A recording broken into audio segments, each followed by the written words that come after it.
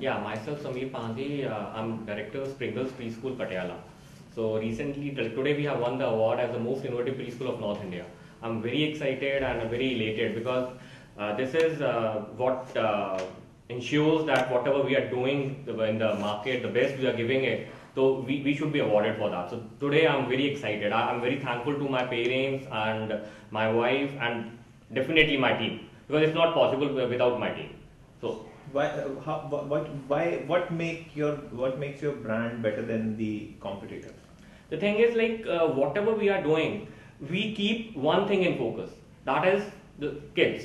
Because if my focus is pure business, I won't be giving the best to the students. Then it will be pure business. My focus is the students, the kids. So we whatever we are doing, uh, our center of focus is the uh, kids, and whatever uh, we implement, I try to implement many new things uh, every day. Like like whenever I see some, I come across something on uh, net or somewhere or whatever things I feel can create curiosity in the mind of the kids. I do implement without fail. That is what I want. Uh, what are the challenges you think uh, are there for your industry and how you overcome it? Yeah.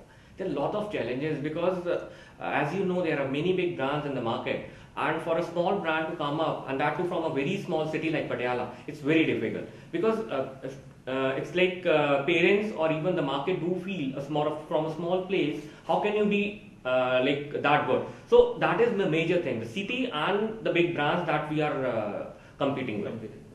So what are your future plans? Definitely, like uh, last week we have opened up one more branch there in Patiala only. Today, just one hour back, I have signed one more branch in Indirapuram uh, and Delhi NCR. So I'm coming from there only. Oh, so future is like we are plan planning more branches. Thank you and congratulations. Yeah, thanks, thanks.